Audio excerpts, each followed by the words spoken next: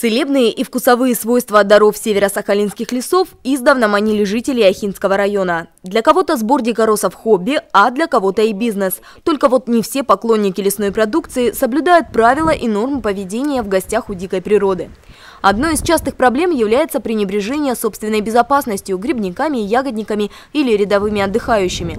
Многие лесные гости забывают про хозяина тайги – по последним подсчетам 2012 года в лесах Ахинского района проживает около 450 особей медведя. Как советуют специалисты, во избежание встречи с косолапым следует отправляться в лес компанией и создавать как можно больше шума. Кстати, большинство бесстрашных поклонников дикой природы ошибочно считают, что собака в лесу – гарантия безопасности. Спровоцировать может любая, даже баллонка медведя. Простая собака, она может на медведя кинуться, погавкать, Здесь же развернуться и прибежать к хозяину, что медведя спровоцировать.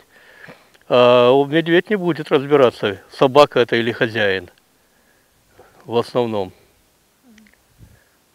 И лучше, конечно, держать на поводке. Даже у нас в Ахиллове лаек много. Но вообще-то появление в лесу с охотничьей собакой, это уже приравнивается к производству охоты.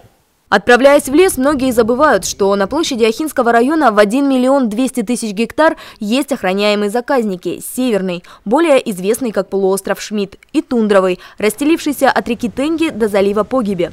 Нахождение в этих лесах без спецпропуска попросту незаконно. Без специальной бумаги даже на прогулку нельзя выехать и на острова Врангеля, где в летний период гнездятся птицы. Посещать остальные районы севера Сахалина разрешено без препятствий. Одной из острых проблем лесной темы является экология. В груди мусора наш лес пытаются утопить нерадивые предприниматели, которые по непонятным причинам не вывозят отходы производства на специализированную свалку.